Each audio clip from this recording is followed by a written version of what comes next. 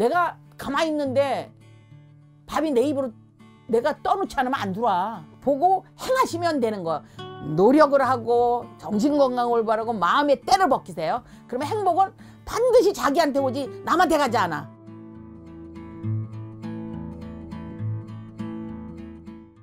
이번에는 네. 2021년도 이제 신축년이잖아요. 네. 그래서 소띠 운세를 한번 볼 네. 건데 나이대별로 한번 볼 거예요. 네. 일단은 제일 먼저 보- 봐주실 분이 97년생.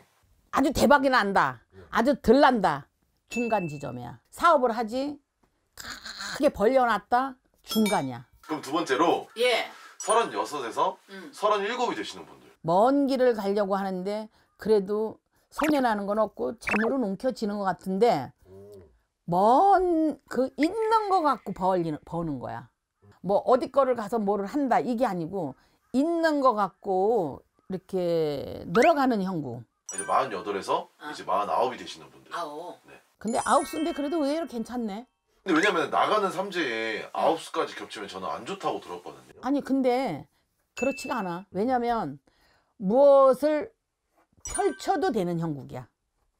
이 영적으로 내가 보면은 봉황이 날개를 이렇게 확 꽃이 폈어. 그러면 마지막으로 네. 예순 하나가 되시는 분들까지. 내가 있는 재산을 갖고 조금이라도 늘려가지 줄어지진 않아. 있는 거 갖고 먹고 살고 있는 거 갖고 해. 부동산을 샀어도 손해 나지가 않고 네.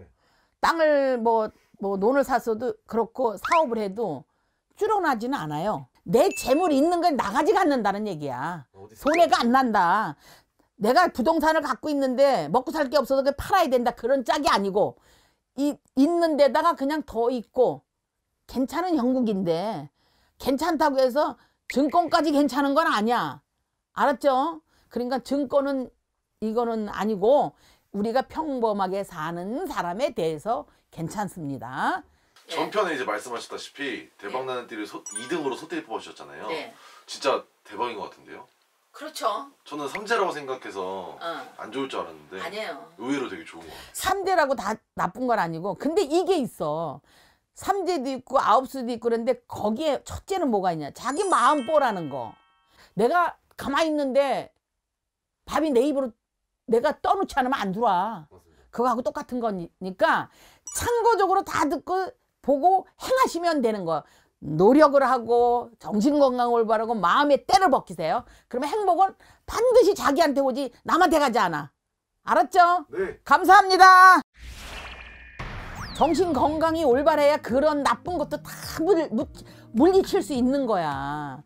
근데 그런 거는 저기 하고 아우 내가 올해가 삼재가 돼서 나빠. 아유 내가 안 돼. 뭐 이건 아니야. 돌팔구를 찾고 내가 노력을 하고 정신을 맑게 해서 최선을 다해서 노력하는 자만이 행복이 오는 거지.